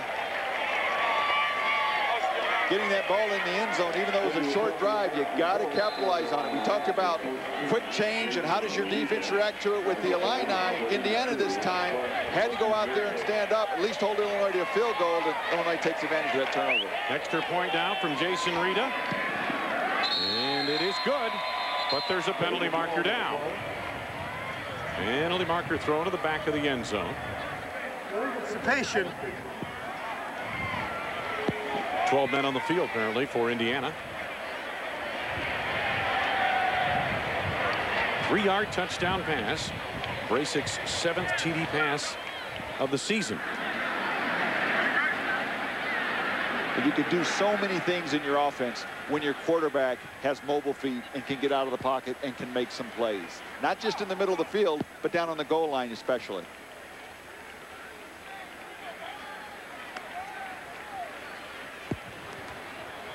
illegal participation, 12 players on the field on the defense. Penalty is declined. Touchdown, or extra points good. So the Illini are back in it. Their defense not only gets a stop, but gets a turnover. And turnovers have been rare for the Illinois defense. That fumble recovery off the sack was only the fourth turnover forced by the Illinois defense. Fourth takeaway by Illinois this season. Take a look. Here's Washington. He's going to come over. The back that comes in, Willis, is not his man to block, but you got to go after him. You can't let him come through free like that. You got to protect the most direct route to the quarterback. Here goes Brasic this way. He's going to play action. The tight end fakes block, comes out, and is wide open into the end zone. And as I said, when you can move your feet as a quarterback, you can create so many plays. Here it is from the ground level. You see how quickly Brasic gets his shoulders up the field, gets his eyes down the field, sees that man, and then gets the ball to him quickly. Melvin Bryant is a tight end that Ron Zook told us has got to step up and become an important part of the offense. The tight end has got to play big in his spread offense. Bryant's got all the ability and is just starting to reach some of that right now. All 10 Illinois points off turnovers. An interception for a field goal and then a fumble for a touchdown. First and 10 now for Indiana, so the momentum of this game and a little bit of the uh, the wind in the sails of this homecoming crowd has been taken out by the Illinois defense and then the capitalization by the offense. We talked about Mike Mallory being a little more aggressive in his calls the last couple of series here, and it's worked very well for the Illini. Defense you like to play aggressively. You don't like to sit back and catch all the time, especially when you see Indiana having some of the success that they've had. When you get a chance to create a play, make something happen, you need to take advantage of it. That's going to cause your coach to continue to call that kind of game. Well, they had let Powers get into a rhythm through most of the first half. And now the pressure certainly has changed things a bit. Nice run here by Taylor around the end. And he's got about six yards to the 26-yard line. Quint, Kessenich, what do you have for us? Wayne, when we spoke to Ron Zook this week, he was brutally philosophic. He said, if you're going to let someone take your lunch money, they're going to take your lunch money. Sooner or later, you've got to stand up and fight. He also added that no one thought that the Illini would be Cal, Michigan State, or, or Iowa. He said, we knew it wouldn't be easy, but we are better than we are playing. And you're starting to see that here in the late stages of the second quarter. Second down and four. I think along with Quint's point, some of the teams Illinois has played are proven to be better than some people thought they were early. Oh, great play here. Denying the pass to Bailey, and Abdullah comes up big. So the cornerbacks for Illinois starting to come to the fore. Alan Ball with an interception earlier in this first half, and Abdullah with a pretty play right here. Very nice play. Good job of getting in front, keeping that right hand off of Bailey so you don't draw the interference call, but getting in front of that ball and knocking it down. That's a step away from being six the other way. Indiana Four of eight on third down conversions here this afternoon, facing third down and four. Four of eight on third downs. Four wide receivers spread the formation. Powers, nice catch made by Hardy in traffic, and down he goes. He beat Charles Bailey, and then uh, Morris Virgil made the tackle near the 35-yard line. It's a first and 10 on a gain of nine. Boy, and where does Blake Powers go when he needs a key first down? He goes to the man he can count on, James Hardy, his leading receiver by more than a two-to-one margin. That's the guy he feels the most comfortable with and wants to get the ball to. And when push came to shove right there, that's where he went. That's the biggest target. it's hard to miss him. Six-seven out there in the flank. First and 10. Again, an aggressive play made on the corner. They tried to get the ball over to Ryan Skelton. Then Bailey equal to the task, knocking it away at the 40-yard line. You know, Wayne, sometimes plays like this past one where Hardy catches and converts that first down, plays like that get lost in the memory of a game because it's not anything that stands out. Had they not converted and had to punt, Illinois again would have got decent field position with the wind at their back and all this momentum. Don't overemphasize or don't don't overlook the importance of that conversion right there. Hardy's at the bottom of your screen, three at the top. Second and 10. Delayed blitz. Willis coming hard. Pass nearly intercepted, thrown behind the intended receiver. Walker Roby, the intended receiver, and James Cooper almost picked that away. Ramon Willis, in this second quarter, on the blitz, has been getting to Blake Powers. So Mike Mallory has found something he likes with his blitzing package, and he has worked it in this fourth, in this third, second quarter right here. There's the blitzer coming through with a free run, and you taught early as a quarterback on a screen play, if it the timing is not there, just eat it or throw it away. Don't force something on a screen. Powers one for six in his last six passing attempts. Third down here. Powers under some pressure, able to scramble away. Still looking to make a play. Throws it away. Good coverage downfield, had to be. And Powers throws it away, and the Illini defense continue to keep the momentum in favor of the visitors. Well, the second half of the second quarter, this defense has really stepped up, and that was excellent coverage back there. Tyson Beatty on a punt formation. Again, kicking into the wind. Three timeouts left for Illinois. Fair catch signal is made, and E.B. Halsey completes it near the 22-yard line of Illinois. 43-yard punt, no return. Coming up at halftime, we'll join the ESPN Plus Game Day studio with Mike Gleason and John Cooper. They'll be taking a look at that Red River rivalry. It's been a long time since Minnesota has sipped champagne from the, uh, or I should say, uh, probably some um, beverage of less strength from the little brown jug and ACC action going on. All of it coming up.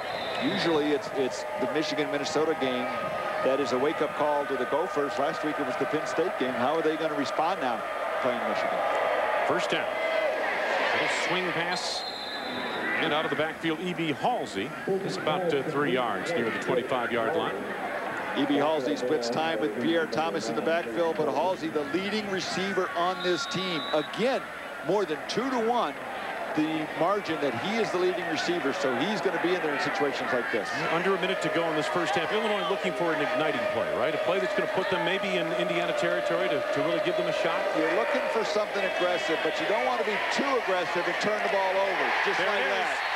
That's the one thing that you don't want to do by being greedy and being too aggressive, and that's exactly what happened there. Tracy Porter took him away from Kyle Hudson, stepped right in front.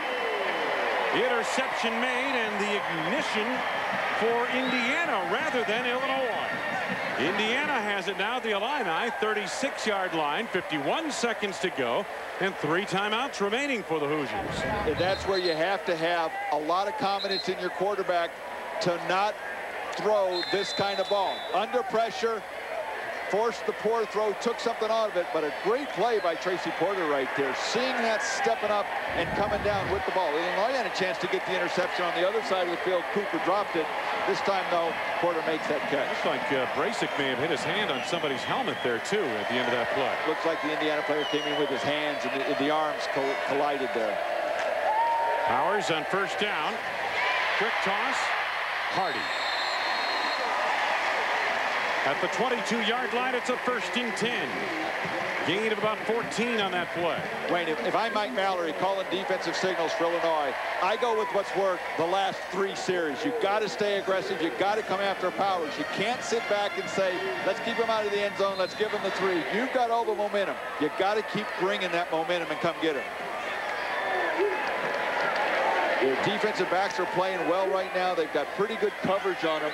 Make them beat you with a perfect pass, and that can happen, but don't sit back and catch. Hardy, six catches, 88 yards already today. Blitz coming. They picked it up well this time. Powers over the top. Penalty marker down, the pass play broken up in for Hardy. Alan Ball broke it up. I wonder about the contact down the sidelines. A penalty marker thrown near the 12-yard line. Who is it going to be against? Will be a push off on the wide receiver or on the defensive back? Looks like it's going to go against Illinois. Pass interference. Number 18 on the defense. Five foul. First down. Alan Ball is 6'1", and that's if he's on his tippy toes. James Hardy's big 6'7". That's a matchup Illinois is not. That's a matchup they could struggle with here today. Well, I don't, I don't see the interference there I don't anywhere. either. He had great position. Contact is part of the sport, part of the game. I don't see interference there at all. First Illinois penalty today, and it could prove to be a costly one. Gives Indiana possession. First down to the seven-yard line in Illinois territory. Look in Ron Zook's face. I think he agrees with you, Randy. You know, contact is going to happen. I didn't see him infringe the movement. I, I, I just don't think that's a good call at all. Take a look again. There's a little hitch move. Ball's not in the air till way past that happens. I think there's equally as much pushing on Hardy's part as there is on Alan Ball's part. I think Ball just has great leverage and great position. Well, that's that's a tough break for Illinois and a good break for Indiana. The interception by Tracy Porter has set this drive into motion. And now the Hoosiers certainly in field goal range. They're already two for two in the red zone, and they've converted both times on touchdowns. And that's the key, is, is they're turning those opportunities into seven points, not just three. Powers, blitz on. Incomplete. Believe that pass thrown behind Hardy, the intended receiver. This time Charles Bailey had the coverage near the goal line. Whether they're getting to him or not isn't the isn't the, in question here. It's the fact they're rushing some of these throws, Randy, off target. Hurries can be as impressive as sacks. And because in a hurry, you can come up with an interception. You can come up with something like that. We saw that happen when Brasic threw the last interception. And Powers has not shown me the ability to throw the ball accurately when he's had to move out of the pocket like Brasic has. So I would continue to come with that pressure as Mike Mallory's been doing. He's two for his last nine passing is Blake Powers. Powers looking to the air again. Buying some time. Pressured. Lofts it into the end zone. Who's going to make a play? It's deflected away incomplete.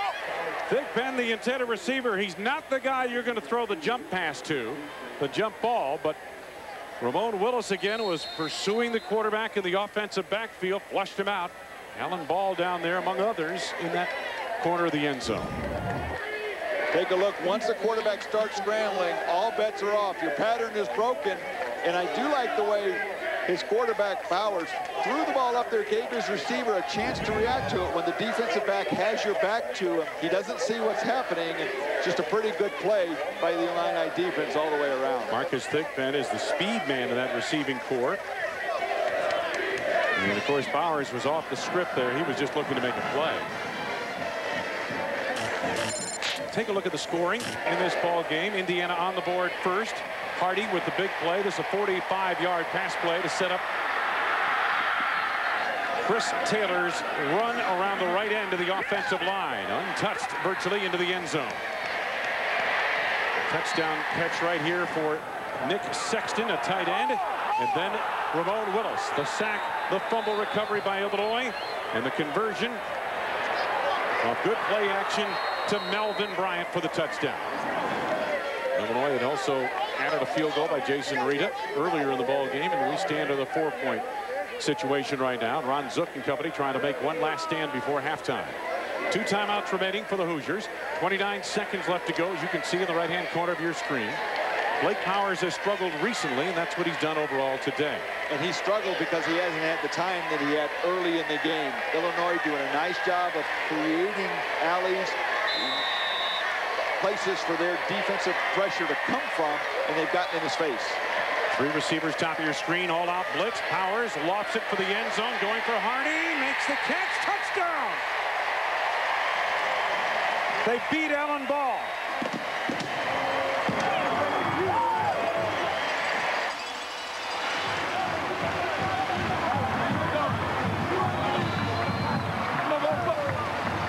Interception by Brasic comes back to haunt the Illini. Was a pretty good job by Blake Powers, throwing the ball with a lot of air underneath it and letting his receiver adjust to it. Didn't take advantage of the six foot seven inch frame that Hardy has, but when you throw that kind of fade pass early enough, you let your receiver see where it's coming, and he's the one looking back in the backfield where it's coming from. He can adjust to it. Alan Ball never turned around to pick it up. Illinois struggling with the physical presence of James Hardy out there at wide receiver. The extra point is good by Joe Kleinsmith. So Indiana gets back that touchdown Illinois just picked up earlier in this second quarter.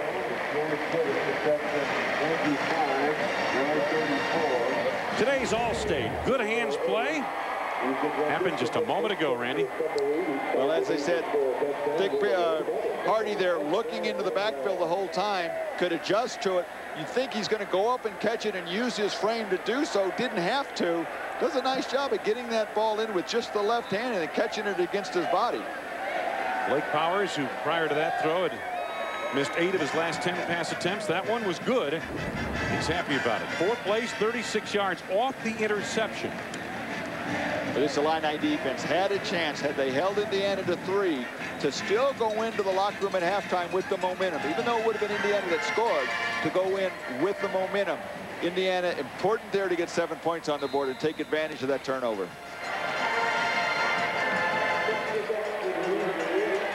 Well, he's moving up on the charts for single-season uh, touchdown passes. Antwaan Randle-El, the great Antwaan Randle-El, back in 1999, holds the school record.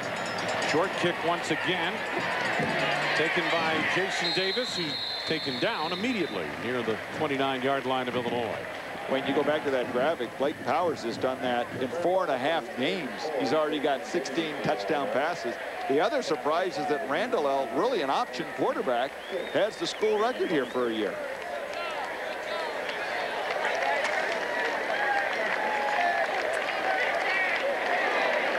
Both these teams have a lot of good young receivers. And as they've got these young quarterbacks maturing and developing, look to be able to be able to start making some plays through the passing game. So Illinois right here, 22 seconds with which to work. They do have three timeouts remaining. But I think Ron Zook not going to take a chance here. Going to head to the locker room down by 11. So the first half coming to a close. Ever the positive Ron Zook. An interception put his defense in a precarious position. And Indiana was able to take advantage.